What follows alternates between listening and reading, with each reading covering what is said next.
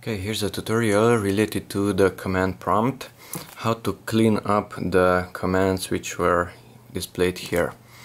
To clean all those commands, type in CLS. That is clear screen. CLS. CLS and press enter. Now all those commands were cleared.